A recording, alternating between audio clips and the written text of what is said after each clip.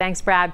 The most eagerly awaited show in years opens in Cincinnati in just two hours. The curtain goes up for Hamilton at 7:30 at the Aronoff Center, and Local 12's Jeff Hirsch joins us live downtown for a look at the show and its financial impact on our community. Jeff.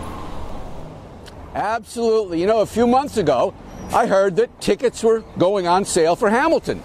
I said, I'd like to get one. So I went to the bus station and I said, I'd like a ticket to Hamilton. They looked at me funny. Am I missing something?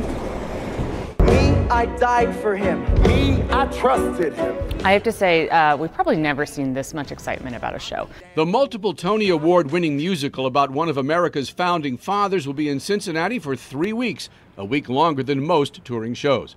Face value of tickets is 65 to nearly $500. Somewhat more if you buy from a broker, but they're moving. This is the biggest theatrical event to come to Cincinnati since Phantom of the Opera first came in 1993, to give you some perspective. Uh, it's bigger than Book of Mormon, Wicked, uh, Lion King, anything that's come in the last 20 years. John Stargel bought tickets for himself, his wife, and another couple. So this will be my first time seeing. My brother went in Atlanta and had talked it up so much that we really wanted to go and experience it ourselves here in Cincinnati. A big show means big bucks for downtown, hotels, restaurants, even parking lots.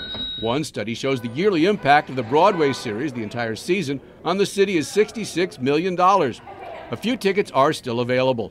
You can also try to win a couple of Hamiltons for a couple of Hamiltons. Online lottery winners get two tickets for $10 apiece.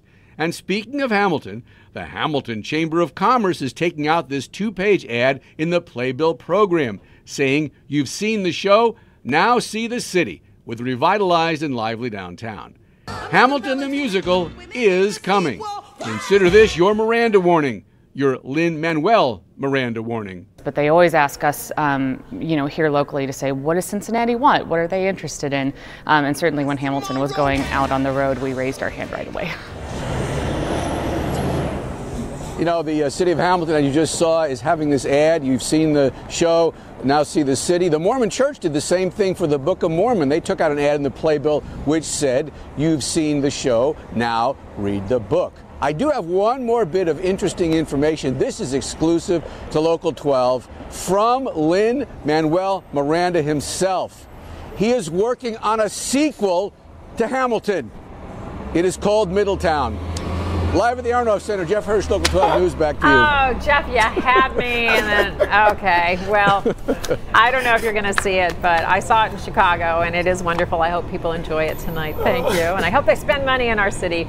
Well, if you want to try to win those $10 tickets in the lottery, you can download the Hamilton app and click on the lottery tab. I'm still laughing at Jeff's joke.